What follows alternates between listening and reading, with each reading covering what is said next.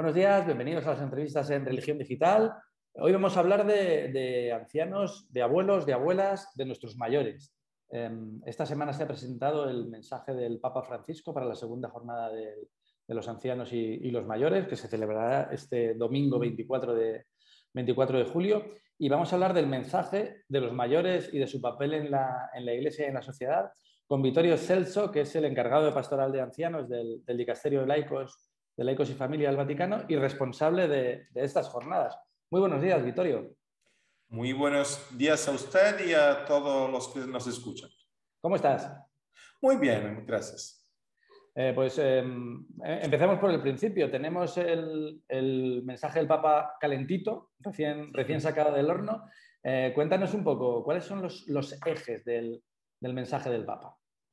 Bueno, el Papa habla de la vejez. Y esto ya es una novedad, porque la gente se asusta, habla con palabras más, bonitas. Él habla de vejez y también eh, durante de las catequesis que él sigue pronunciando en esta semana, habla de vejez. Y dice que la vejez puede espantarnos, nos asusta.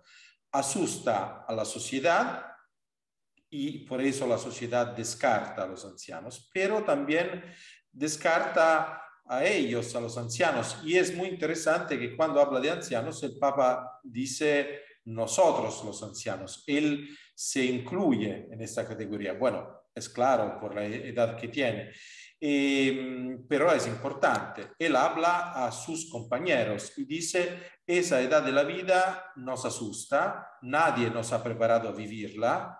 Y entonces tenemos que buscar como una tarea, un, un papel, un objetivo de ese, de ese tiempo de vida.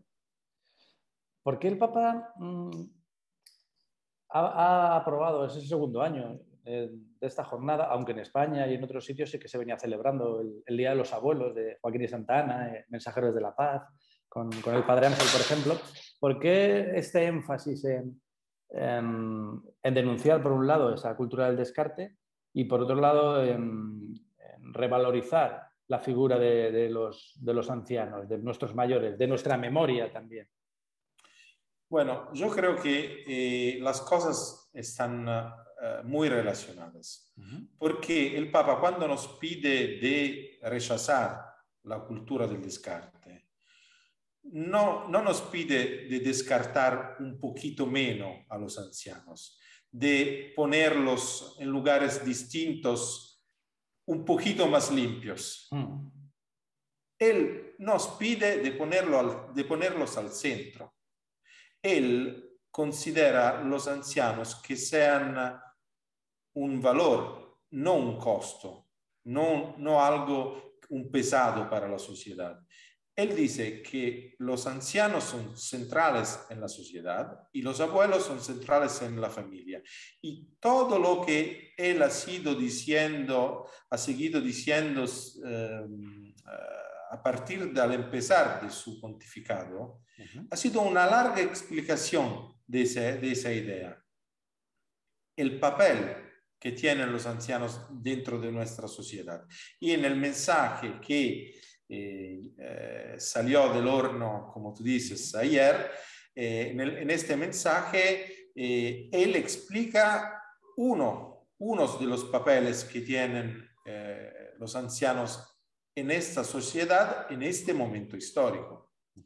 Tenemos a los ancianos como el, el Papa les pide y se incluye, además, como persona mayor, como protagonistas de la revolución de la ternura, frente a la cultura del descarte, esa revolución de la ternura en un mundo en el que a veces echamos de menos y la pandemia nos ha provocado probablemente más, eh, es los abrazos, la cercanía, ese cariño que, los abuelos profesan a los nietos, pero que también nos hacen ver al, resto de sociedad. Claro que sí. Eh, eso de la revolución de la ternura es algo del que el Papa habló uh, ya algunas veces, pero me parece que hablar de revolución de la ternura hasta um, después, dos años eh, en los cuales los abrazos fueron uh, uh, imposibles y, y no estaban permisos. no estaba permiso de abrazar a la gente y sobre todo no estaba permiso de visitar a los ancianos que están recluidos, eh, eso tiene una, eh, un valor nuevo, eso eh, llega a ver un valor nuevo eso de la revolución de la ternura. Y tiene un valor nuevo en este momento donde cuando miramos la televisión no se ven imágenes de ternura, sino imágenes terribles. yo creo que el, que el, Papa quiere que, que, que los ancianos que el papel de los ancianos sea reconocido también en este momento histórico. Él dice, claramente, la guerra en Europa ha comenzado en el momento en el que los que, los, los que testimoniaron la, la, guerra mundial se murieron. Ahora que ya no están ellos, la guerra ha podido surgir, surgir otra vez. Es una paradoja el, el, eh, precisamente esto, esa, cuando la, memoria de los, de los que vivieron el horror va desapareciendo, porque ellos van desapareciendo físicamente, eh, estamos viendo como mmm, volvemos a cometer errores similares a los que, a los que se cometieron hace, hace varias décadas. Claro, y eh, eso eh, pone una luz en las palabras que el Papa dice muchas veces, dice muchas, muchas veces sobre el diálogo intergeneracional, porque uno puede pensar que el diálogo intergeneracional es un abuelito con su nieto que habla de cómo era el tiempo, de cómo era buena la vida hace 50 años. No, el diálogo intergeneracional es algo uh, sobre la vida, sobre la historia, sobre eh, los, uh, las enseñanzas que los, uh, los ancianos tienen sobre la vida. Por ejemplo, el Papa habla muchas veces de, de los sueños de los ancianos. Eh, un sueño de los ancianos de Europa ha sido la paz uh -huh. en Europa. Nosotros vivimos en paz eh, en Europa, eh, entre Alemania y Francia, porque nuestros abuelos desearon... Vivieron la guerra y fueron capaces de construir la paz. Claro que sí, pero esto fue un sueño. Uh -huh. y, y, el sueño que los ancianos donan a los jóvenes es, es, es este. Quizá mmm, nos tenemos que pre preguntar si el diálogo entre las generaciones ha funcionado. ¿Ha funcionado? Quizá, no sé, eh, probablemente uh, hubo un gran problema sobre la transmisión de ese valor de la paz, porque ahora, y el Papa lo dice, se, siente, se, siente, se sienten eh, voces muy, muy duras, eh, es normal hablar de contraposiciones, de guerra, eh, un lenguaje también muy belicoso volvió, volvió, atrás. El Papa nos invita a hablar un lenguaje, lenguaje diferente el de la ternura, el, del, el, de los abuelos con los nietos. Uh -huh. eh, la mirada tierna de, de, un abuelo no es algo para un cuadrecito, un dibujito uh, de poner sobre la mesa. Es algo que es radicalmente diferente de lo que vemos en la tele, en los, uh, las noticias. A, mí hay una, una frase del, del, mensaje que me gusta especialmente, que va en esa línea, en la de, de exportar, entre comillas, el cariño de los abuelos a sus nietos a, a, la sociedad. El Papa les dice, nosotros, vuelve a incluirse, los abuelos y los ancianos tenemos una gran responsabilidad, enseñar a las mujeres y a los hombres de nuestro tiempo a ver a los demás con la misma comprensión y la misma mirada tierna que dirigimos a nuestros nietos. Hemos afinado nuestra humanidad al ocuparnos del prójimo y hoy podemos ser maestros de un modo de vivir pacífico y atento a los más débiles. Es exportar ese cuidado, esa ternura, ese cariño de los abuelos a sus nietos, a, los mayores y a sus nietos, al resto de la humanidad. Esto se inserta dentro del, de, la otra, de, las otras claves de, este, de, este, pontificado de Francisco, es esa, esa unidad del mundo en su, en su diferencia, ese sentir que, que, nos salvamos todos juntos, que todos tenemos que cuidar los unos de los otros y en ese papel nuestros mayores tienen una función esencial. Sí, y él también añade que nadie se salva solo. Uh -huh. Y, y, esto, que nadie se salva solo, es algo que nos hemos aprendido durante la pandemia, ¿Sí? pero eh, es algo también que los ancianos nos enseñan, porque si pensamos que eh, ellos y el Papa se ve, ha tenido como eh, que aceptar de ser cuidado de manera también muy, eh, muy evidente con eso de la silla de rueda, pero eso de aceptar que, que alguien se cuide de nosotros es la idea que yo no basto a mí mismo. Eh, yo no soy bastante a mí, mismo, no sé si, si puedo decir esto. Perfectamente puedes. Perfectamente puedes. Yo, yo, sí que creo que además el Papa está con, visibilizando eh, no, no, tanto su enfermedad, sino esa necesidad también que tiene de recibir cuidados. la silla de es lo más potente visualmente hablando, pero me parece que también está dando un ejemplo, y lo decía ayer el cardenal Farrell en, en la rueda de prensa, un ejemplo de, de humanidad, de, los que cuidan también necesitan ser cuidados. Hasta el mismo Papa de, Roma necesita eh, cuidar y, ser protegido para proteger y para, y para cuidar. Estamos interrelacionados también en eso y el Papa nos lo demuestra. Y esa relación uh, es el centro del mensaje. Uh -huh. La idea que eh, todo necesitamos una relación, una ayuda, una ayuda, un cuidado, alguien que nos abrace.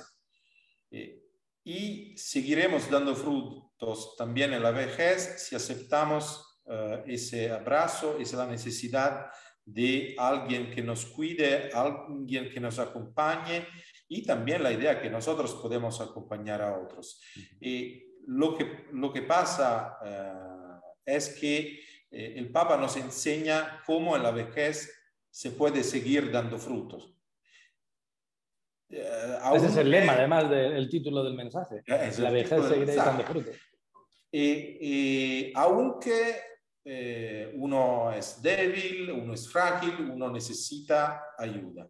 Pero eso es verdad en, las relaciones entre, entre, los hombres y entre los, entre los pueblos. No, nadie se salva solo, eso es muy claro. La felicidad, dice el Papa, es un pan que se come junto. Y se parte y se comparte, es muy evangélico también. se comparte. Es, es, Jueves Santo. Es claro, claro que sí. Y, eh, y eso de la, de la, silla de rueda a mí me, me, me, deja pensar a lo que dice Jesús a Pedro. Eh, ahora, eh, no sé cómo, cómo es la traducción en castellano del Evangelio, yo lo leo en italiano generalmente. vendrá un día en el que alguien te conducirá donde tú no quieres. ¿no? Jesús le dice a Pedro, pero tú uh, sígueme. Eh, y, y, es esto, es la idea que nadie eh, se basta a sí mismo, nadie es autosuficiente, pero uh, todo puede ser, puede, todo, todos pueden acompañar, todo, todos pueden da, dar fruto. Y hay un fruto que la generación de los ancianos de ahora tienen que dar, que es lo de la oración, que es lo de enseñar el cuidado. Y cuando nos hablamos hablamos de la cultura del descarte, el opuesto de la cultura del descarte, como decía, no es un, un lugar más limpio, ma es entender cuál, cuál, es el papel de los ancianos dentro de la sociedad. Es un papel activo y un papel necesario. Disculpa. Activo ¿Cómo, y necesario. ¿Cómo estáis planteando desde el dicasterio eh, los actos del, de la segunda jornada? ¿Tenéis algo ya previsto? ¿Está todavía en, en ciernes? Bueno, ¿Algo que puedas adelantar? Sí, eh, nosotros tenemos dos ideas muy claras y simples, porque eh, nos gustaría que esa jornada llegue a ser como una tradición en la iglesia, que, que crezca, pero sobre dos ideas bastante simples. La primera es que el día del 24 de julio, el día de la, del cuarto domingo de julio de cada año, sea un, un, día de fiesta. El Papa dijo cuando lanzó la jornada un, una fiesta del encuentro eh, una fiesta del encuentro y eh, es claro que al centro tienen que estar los ancianos. Entonces nos imaginamos que el 24 de julio en todas las parroquias, las comunidades, las, mm, las diócesis, en cada lugar uh, hubiera una misa con los ancianos. Y tenemos que poner cuidado porque eh, los ancianos han sido por años lo que más iban a la misa. Pero la pandemia las ha echado afuera porque ellos justamente han tenido miedo porque era- eran los más frágiles. Y ahora tenemos que, eh, eh, tenemos que hacer de manera que ellos vuelvan, que ellos vuelvan a la iglesia. Entonces, el día del 24 de julio como un día donde hu- hubiera una misa eh, para los ancianos. Y la otra cosa, esa idea de la iglesia en salida sobre la que el Papa eh, insiste muchísimo, la idea que los jóvenes y los adultos y los niños vayan a visitar a los ancianos solos. Nosotros sabemos que hay muchísimos ancianos solos. Eh, creo que eh, un- en, en unos países, en los países ricos, dentro de los ancianos, los que viven solos son eh, un 25%. Ujú. Y, y eso es algo que asusta porque eh, La, La soledad es la, otra gran, enfer- es la otra gran enfermedad de, de nuestras sociedades, la soledad. es lo que, estaba diciendo. La vejez no es una enfermedad, la soledad es una enfermedad. Y, y hay que curar esa enfermedad. Entonces, no, nosotros pedimos que los jóvenes visiten a los ancianos solos. El Papa lo dice de manera muy clara en el mensaje. La visita a los ancianos solos es, es una obra de misericordia de nuestro tiempo. Hay que visitar a nuestros mayores no solo el día 24, sino acompañarles en un proceso, porque la vida no es, no es solo jornadas, aunque las jornadas nos ayudan a, a tomar conciencia. Y por eso es importante que, que se institucionalice, como parece que se está institucionalizando este, este día de los, de los abuelos y de los mayores en, en toda la iglesia, ¿no, Vittorio? Claro que sí, es claro que no podemos pensar eh, a los ancianos o los mayores solo el 24 de julio, pero la idea es que eh, la jornada se irá repitiendo cada año. Y re- repetir cada año es una idea, es la idea de, eh, de que la jornada llegue a ser una, una de la, de la- de la iglesia. tenemos que desarrollar una pastoral ordinaria de los ancianos. Y en España está alguien que eh, se ocupa dentro de la conferencia episcopal de los ancianos, pero hay muchísimos países donde dentro de la conferencia episcopal todos hay oficinas que se ocupan de todo, pero no de los ancianos. Ujú, es Y verdad. una persona me dijo una vez, me di- bueno, en mi conferencia episcopal no nos ocupamos de los ancianos porque nadie me dijo que era mi tema. Y yo le dije, bueno, eh, abre, tú puedes abrir las noticias a la mañana y te das cuenta que, que hay una urgencia de una pastoral ordinaria de los ancianos. Son nuestro tema también, son nuestro presente, son nuestra memoria, eh, son los que en muchos casos nos han transmitido la, la fe, las que, los que lo han custodiado en los momentos difíciles y, y son parte. son nuestro futuro. Y son El nuestro Papa nos dice que son nuestro futuro. Primero porque yo me yo espero llegar a ser anciano eh, y creo que todos esperamos Sí. tener una vida larga. Eh, pero eso de, de tener una vida larga significa que los ancianos son nuestro futuro. Eh, una vez el Papa dijo, mirad que los ancianos no son ajenos, somos nosotros dentro de, unos años. Sí. En- Entonces, eh, la ancianidad es nuestro futuro y, y tenemos un gran, es algo muy raro porque esta sociedad ha luchado por siglos para alargar la vida. Ahora que la tenemos, tenemos 20 años más para vivirlos y ¿qué hacemos de este años? ¿Por qué no Papa no dice, aportamos "¿Dónde- calidad? ¿Por qué no, no ofrecemos y no reivindicamos también el- la actualidad de, de esa, de la vigencia de esos años de más? Eh, eh, claro, el Papa dice, lo máximo que nos ofrecen es, son eh, proyectos de asistencia, un cuidado, pero no, lo que falta es un proyecto de existencia. ¿Cómo vivir? ¿Cuál es el papel social de una persona cuyos, cuyos mm, hijos son grandes? Son- y hoy el Papa lo repite también en la catequesis de, hoy mismo. Eh, Él habla de, de- Judita en italiano, no sé cómo se dice en español. Eh, eh, y, dice, bueno, pero nosotros ahora, ¿qué hacemos con nuestra vida después de la jubilación? ¿Qué hacemos? Tenemos años, salud, los nietos están lejos, los hijos están independientes. ¿Y qué hacemos? Nadie nos ha preparado a vivir como anciano. Pues trabajemos por, trabajemos por ello. Vittorio, muchísimas gracias. Esperemos que esta jornada sea un éxito, que, logremos incluir y, hacernos incluir también a los, a los mayores en ese presente y en ese futuro de la Iglesia y de la, y de la sociedad. Como dice el, mensaje de, este año, en la vejez seguirán dando fruto. Eh, que sigamos dando fruto. Gracias por, la parte que os toca, que es, mucha, y a, seguir trabajando. Estamos en contacto. Muchísimas gracias. Muchísimas gracias a usted y a todos los que nos escuchan.